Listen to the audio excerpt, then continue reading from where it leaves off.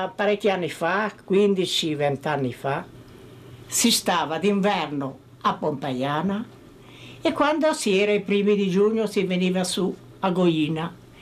Si partiva da Pompiana a piedi con le capre perché la strada qua non c'era. Eh? Si camminava tutto il giorno, si passava da Montefaudo di là, si veniva su a piedi, si arrivava qua alla sera, tutto il giorno in cammino.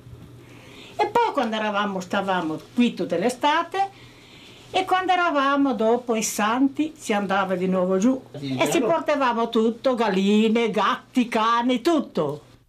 In mezzo alle montagne dell'entroterra ligure, tagliate fuori da ogni umano consorzio, si viveva ancora in una affannosa epopea di superstizione, un contesto di povertà, di malattie e di frustrazioni un contesto dove folle di contadini, di pastori, di nullatenenti, di servi, di nobili e facoltose famiglie cercano il riscatto nella fede religiosa.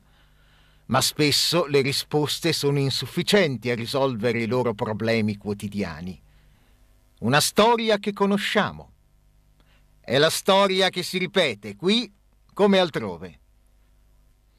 Ma questa volta, come vedremo, è una storia che si risolverà quando ad essere interessate saranno anche persone facenti parte di un ceto sociale apparentemente estraneo a questo contesto. Le vicende storiche che caratterizzano di più Triora e l'Alta Valle Argentina e che sono proprio peculiarità della nostra zona sono le streghe di Triora, per dire una delle caratteristiche importanti. Triora è ricordata come paese delle streghe, a questo fenomeno delle streghe, ma al, alle vicende storiche anche delle streghe di Triora sono legati, sono legate un po' allo lo sviluppo di Triora e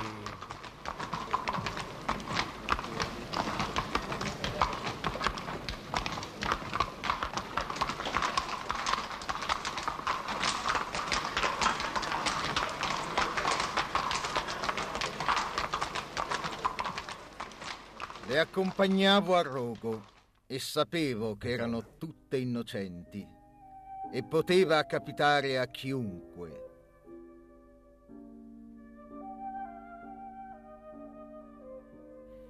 E infatti capitò a centinaia e centinaia di donne in tutta Europa, bruciate vive perché troppo libere intellettualmente e sessualmente. Se si leggono in maniera non usuale i documenti, il Sabba non pare un culto della fertilità rovesciato nel suo contrario dalla Inquisizione. Pare piuttosto, per usare un vocabolario psicanalitico, un culto della libido senza preordinata direzione e dunque non, non cattolicamente finalizzata alla fecondazione e riproduzione, che è parte per il tutto della sessualità. Sul finire dell'anno 1587 ebbe luogo in Triora una furibonda caccia alle streghe. Durante una seduta straordinaria del locale Parlamento, alcune donne, solite riunirsi nottetempo alla cabotina o nei pressi delle fonti, vennero violentemente accusate di essere le responsabili di una perdurante carestia. Per scovarle si stanziarono addirittura 500 scudi. Le perseguitate di Triora, come quelle di Salem, a un certo punto coinvolgono il ceto medio-alto, perché eh, dobbiamo pagare solo noi? Per, per che cosa? Per questo stile di vita, probabilmente. Qualcuno ha detto qui, ieri non mi ricordo bene chi, se, che se una matrone, sono citate le matrone, che aveva qualche problema di salute, ah ecco l'ha detto, l'ha detto Sannita, probabilmente non andava dal medico che non si trovava che eh, a Genova o a Milano, ma si rivolgeva a questa sorta di medicina, quindi rapporto tra ceti medio-bassi eh, e ceti medio-alti e a questo punto eh, la repressione si ferma. Quando si pensa alle streghe si immaginano donne brutte, il naso aquilino, lo sguardo truce, colme di difetti. Lo stereotipo consegnatoci dalla tradizione e dai racconti popolari, tenuto vivo dai mass media e dalla letteratura infantile, è quanto mai errato. Le streghe erano e sono donne normali, spesso belle, in alcuni casi affascinanti. A loro sono state attribuite le più disparate colpe e le più efferrate nefandezze. In realtà molto spesso il loro potere era benefico. Parlando di streghe esiste un detto che eh, in bregasco dice rembasurament liad longa vue, eh, la stregoneria c'è sempre stata, eh, rispondono alla domanda se sapete qualcosa di stregoneria c'è questa. Continuerà a esserci allora. Diciamo se eh, per stregoneria si intende una certa partecipazione del non razionale tradizionale direi di sì e direi anche che non è male che ciò sia. Il loro sapere nel campo della medicina, la profonda conoscenza delle erbe, la dimestichezza con i fasci nervosi faceva sì che si sostituissero egregiamente ai vari dottori dell'epoca. Basti pensare che la strigonella, autentica panacea, ma soprattutto indicata contro l'insonnia e l'instabilità nervosa, è volgarmente nota come erba della Madonna. Curiosa contrapposizione fra il male e quanto di più cristianamente immacolato esista. Allora, da lei vengono centinaia di persone. Sì. Migliaia forse. Migliaia, sì, migliaia. Cosa sicura- vengono a fare da lei? Cosa le chiedono? Eh, mi chiedono, mm, tanti vengono per curarsi, perché li curi, mi più vengono perché sono malati e hanno bisogno. Vengono e rivengono, mi chiamano e rimaniamo amici perché sono tutti contenti quelli che sono aspettati da me. Ma lei come fa a capire che cosa ha una persona? Che cosa sente lei quando vede una persona? Eh, io per sentire li tocco e c'ho un piombino. Io questo, con, con quell'affare lì mi segnala tutti i mali della persona.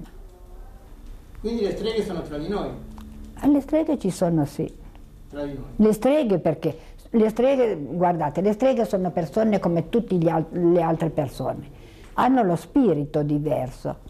Come io ho tanta fede che prego, loro parlano col diavolo, invece di pregare Dio, la Madonna, le anime parlano col diavolo, pregano il diavolo. È grazie alle streghe ed agli stregoni che sono stati curati e si curano tutt'oggi l'erisipola, l'herpes o il mal di denti, semplicemente segnandoli con un anello d'oro, una moneta o altri oggetti metallici recitando formule e preghiere secolari. È grazie infine alle streghe se scompaiono o quantomeno vengono alleviate pene d'amore, turbamenti dell'animo e depressioni ansiose. Signora Maria, lei è una curatrice. Dicono a Triora che sono venuti, praticamente sono passati tutti da lei a farsi curare chi una rottura di, di ossa, chi un... No, le rotture no. No, lei invece cosa cura? No, io faccio segno l'herpes, vengono per segnare l'esipola, Segnare cosa vuol dire? Cosa intende lei per segnare? dipende il male. Se il male è l'herpes lo segno così. Io do un segno speriamo come qui. Olio di una pianta che si chiama iperico.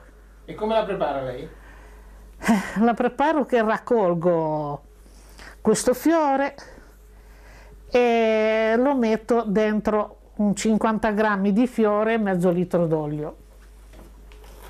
Mm, e deve star lì, se, se non serve si fa anche così, se lo metto lì dentro sta un anno perché io ho sempre il vecchio. E poi, o seppure c'ho premure che si deve fare, si deve mettere mezzo litro di vino bianco, dentro si deve mettere il mezzo litro d'olio e questo il perico e farlo bollire a bagnomaria finché si è asciugato il vino. Allora va bene questo, questo fiore è un po' complicato, invece così viene lo stesso, però se uno ha bisogno non serve se non ha almeno un anno. Ore per eh, un calmante, un forte calmante. Oh, è tanto secco qua di. Ecco, questo sarebbe il biancospino.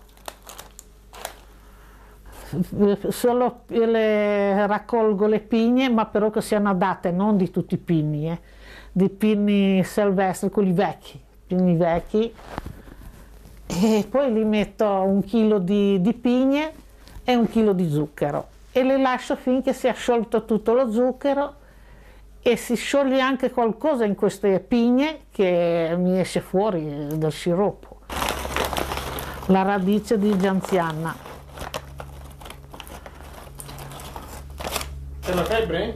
Sì, per la febbre siamo sempre lì per influenza, ma più per la febbre, calmare la febbre.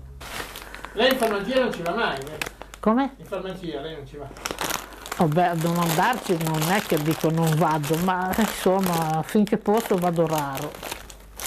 Ecco, queste sono le cime di pino, di nuovo che io le metto nelle tisane perché hanno la resine, le raccolgo il tempo che hanno la resine e... Sono le cime di pino? Sì le... sì, le cime di pino, io non so, le chiamo così, poi mm, se avranno un altro nome non lo so. Eh beh, se però sarà necessario, non è detto che non vado in farmacia, ma via, finché ne posso fare a meno non ci vado. Dopo essere stati positivamente impressionati da Amalia, la curatrice che si definisce una strega benefica perché ha curato, guarito e continua a curare migliaia e migliaia di persone, anche Maietta non è da poco. La semplicità e l'intelligenza di questa donna ci fa pensare alla saggezza dei nostri vecchi, che anche loro si curavano e si mantenevano in forma con rimedi naturali. Ma a questo punto ci chiediamo, sono queste le streghe di Triora? Perché se è così, ci auguriamo solo che ce ne siano tante altre. La signora Maietta, infatti, parlando di api, ci ha fatto venire tante curiosità.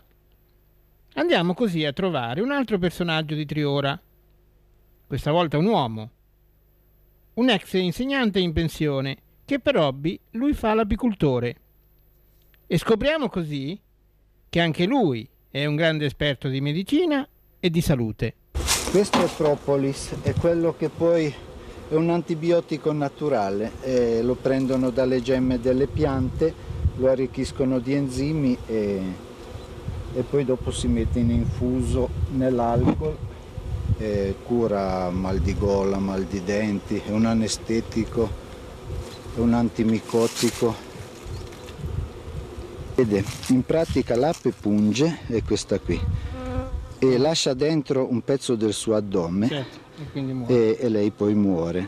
E questo qui se uno lo prende in mano, così, è una vescichetta, uno la schiaccia il veleno entra tutto, allora bisogna levarlo così.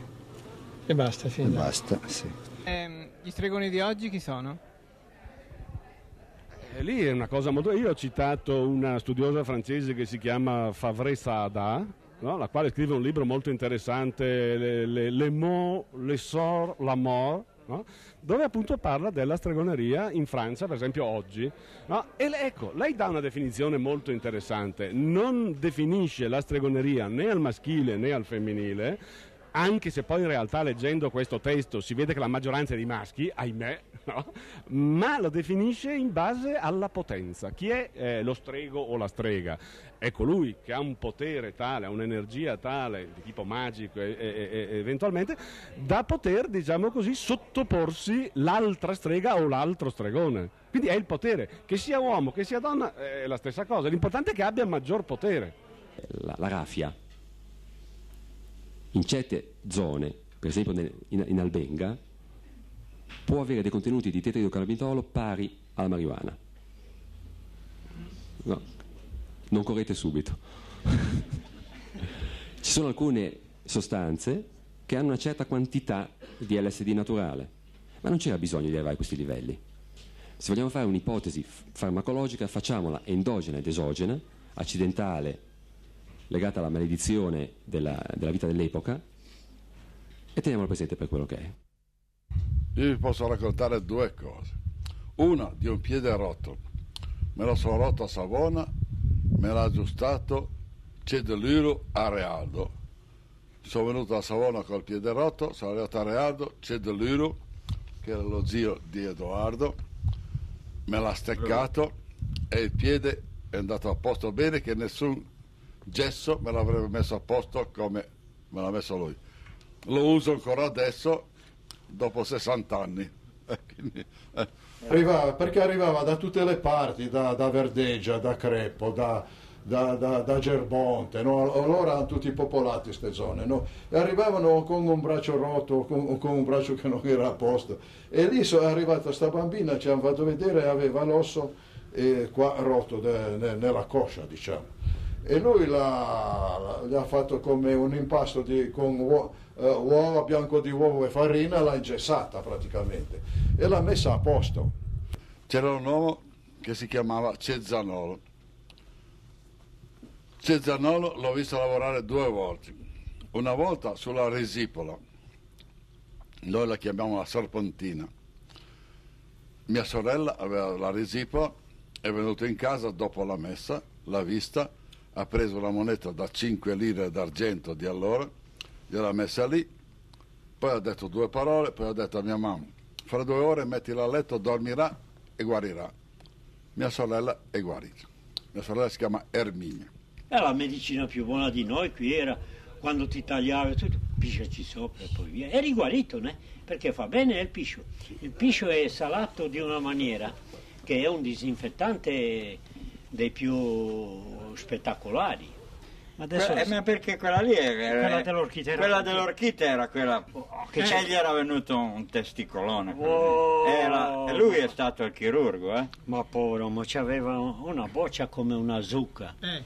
E, insomma E quindi? c'era un fratello di lui che voleva tagliarlo con una lametta. La cosa non era mica com- facile, Eh, neanche- era complicatissima perché aveva un testicolo come eh, una zucca eh. e guarito da quel veleno E che ci ha fatto? dato. si è fatto pungere Si è fatto si è autofatto pungere è guarito perché il veleno la- ha portato la- lo, lo sgonfiore. Omeopatica.